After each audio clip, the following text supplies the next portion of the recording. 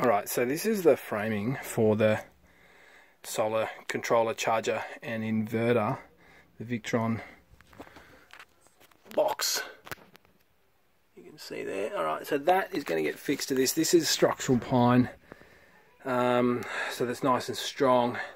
You can see the non-structural pine which is been replaced. So what we're going to do is we're going to fix it in to the edge of the bus here. So this is a steel M6 nutsert and I've got another one down here which I'm going to put in, uh, you can just see that, put that in like, like that.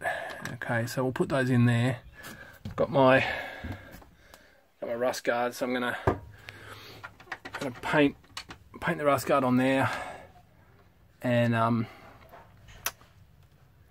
then put the nutserts in and then fix the frame to the floor obviously and then to there and then we'll get some uh, braces in there make sure that that's all uh, fixed in nice and strong and that will then give us a nice firm housing for the for the box the brain is what we're calling that so got the electrician here to get it all sorted, so let's go.